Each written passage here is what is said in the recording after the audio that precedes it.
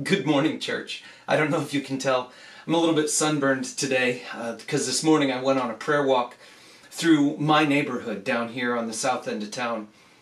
And today I wanted to um, I wanted to prepare you because today you're in for a special treat. Today's video was made by my wife Jennifer, and uh, she put in about two hours worth of thought into um, that's a little exaggerating. Maybe it was about a half an hour, but anytime she's away from me, it feels like time is going really slowly. But anyway, she put in a ton of time, a ton of thought into just something she found out was only three minutes long. And she comes down and she says, I'm sorry, I just did my video and I realized it's only three minutes long. So anyway, I've already talked almost as much as she did in her video, but here's the thing whenever you get a chance to hear her share what's on her heart, it's worth paying attention to. It's worth listening carefully to. You don't get to see my wife a lot because on a Sunday when we're all gathered together, on a normal Sunday, the way they used to be, she's never around on stage because she's always around helping someone.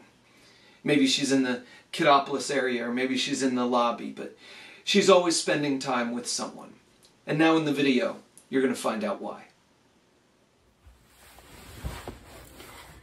Hi, it's Jen Michaels, and for um, 21 Days of Prayer, the thing I've been thinking about and the thing I've been praying about for months really has just been family. And it's not unusual for me if you know me very well at all, but, um, but I've been praying for comfort and for peace, for wisdom, um, and, just it, it, just keeps coming back to that piece for everybody who's part of my family. Um, for me, family is not just the people I live with. Um, it's the people I, I used to live with and the people that those people love and the people that um, they've added into our family. Um, it's the people I work with. It's the people that um, that I go to church with. And um, so all of that together equals family for me. And I um, am excited to see that grow and I am brokenhearted sometimes with you and I am elated with you and I am super happy to be those things with you. Um, but, but I can be super awkward sometimes and, um, and can't fix all of those things as much as I want to. Um, so I, I need you to forgive me sometimes and, and show me and others grace and, um, and to just be there to all be part of a family um, to cover for one another during those times. Um, it can't just be one person loving the whole family. It has to be a family being together as a team. Um, just really needing each of us to do our part. Um, if I think back of the family I grew up with, um, when I, when when I say family, I think of all of the people like from my grandparents down. And so in my family, that was, that was a lot of us. Um, I don't know, 50, 60 people. in, in all. And so not everybody was at every single thing, but somebody was at everything that was important. And all of us were together when something was critical, um, at least as much as, as could be.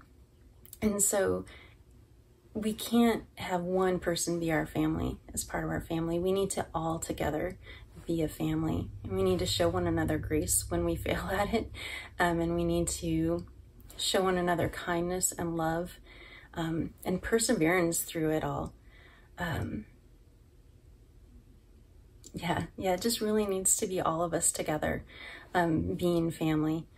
Um, so I'm praying um, right now during this time, especially how how we as a church family can um, be a better family together, even through all of this distance, and and praying also for all of my family that they can all feel peace and comfort from God um, during all that has been 2020 so far. Bye. I am so glad God gave me the opportunity to be a part of her family. Because, you see, I think all of us need to have that reminder.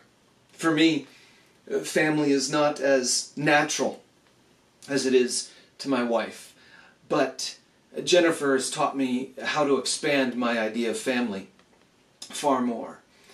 And I want you to know that even though we haven't been around, I care for you guys just as much as I care for my family because you are my family.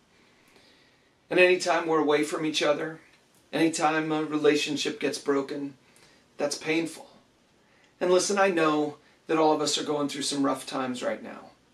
But I hope that during this time, you can see yourself as part of this bigger family the family of God and the family of our little church family. And I hope you can also tell that you're part of my family too. We love you. Let me pray for you. Heavenly Father, would you just be at work in our family? Lord, these days everything seems out of whack. And it doesn't seem like anything is going the way we would expect it to, or anything is going the way that we had planned it would, or that we want it to. But Lord, we recognize that you're a God who has a plan for us. And so we ask that you would be at work in our lives to reveal your plan in a more deep way to us than we've known before. Lord, right now, when all of our comfort zones have been crushed, I pray that you would reveal yourself to us and bring us peace and bring us love for one another and bring us encouragement from your Spirit and give us an awareness of family that goes beyond physical presence. Lord, we need you. We need your guidance. Would you move in our midst? We pray in Jesus' name. Amen. Listen, if Christians are feeling the stress of these days, particularly the stress of a distant family, it's almost certain that people who don't have the confidence in God, who don't have the fellowship of the Spirit, and who don't know the security of a, of a godly Christian family in their lives, it's certain that they're feeling the stress even more. Today, let's be people who recognize that we are the blessing the world needs. And let's bring it to them in whatever way God gives us the opportunity. Thanks for joining us here this morning. We'll see you again tomorrow.